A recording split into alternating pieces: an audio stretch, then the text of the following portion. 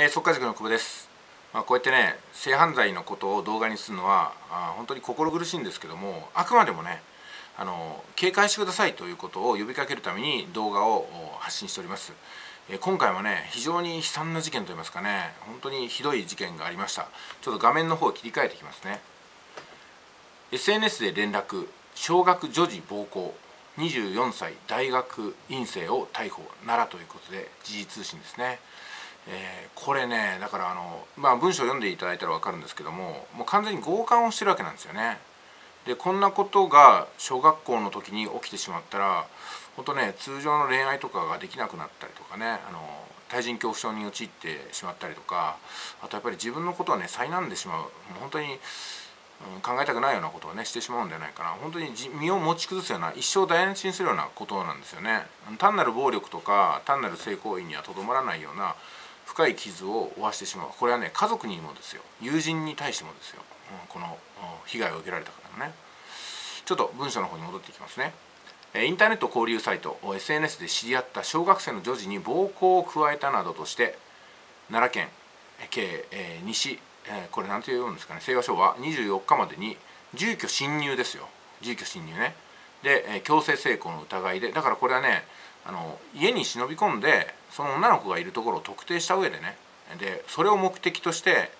えー、留守の間にねご家族いらっしゃらない時に小学生の女の子を1人の時に、えー、まあ、強姦に走ってるわけなんですよね。強制性交なんて分かりにくい言葉を書かずにもうちょっとねどぎつい言葉で表現した方がいいのと私が思うのはねこれこういうふうな事件が起きたらこの SNS をまあなんなんとかねできないんですかね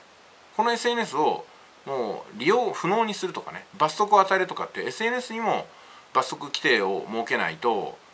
これ結局この SNS っていうのは今後も使われちゃうかもしくはあ SNS でこうやって知り合えるんだっていうふうに変な知恵をつけたねあの、まあ、大人たちがまた同じ事件を起こしかねないと私は思うんですよね。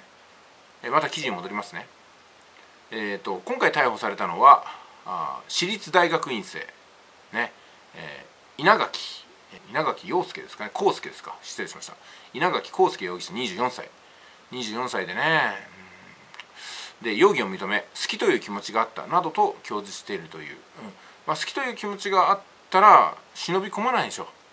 住居侵入ね。なんか他にもここに記事に語られてない事情があったのかもしれませんけどもね。看過できないですねそれにしても。で同書によると同容疑者は23日に女児宅周辺に現れ任意の事情聴取に暴行を認めたという、うん、だからこ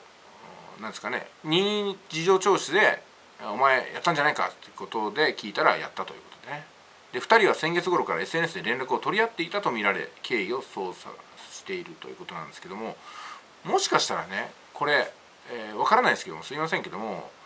うん、この被害を受けたとされる女の子もなんか魚心に水心だったのかもしれないんですよねそういうふうに思われてしまうのもかわいそうなんですよ。まあ、どんな事情があるにしてもあのこれはねあのこの大学生24歳の方が女の子を大切にする気持ちを持ってねあの軽はずみのことをしないとそれから SNS で知り合った男性には気をつけるようにと自分で警告しないといけないぐらいですよね。まあなんともね情けない事件だと思いますよこういうのは。なんとかこれね厳しい厳罰にできないもんなんですかね、うん、終身刑でいいんじゃないですかこういうのは。はい。じゃあ今回は以上です。ちょっともう本当に胸が痛くなるような事件でしたね。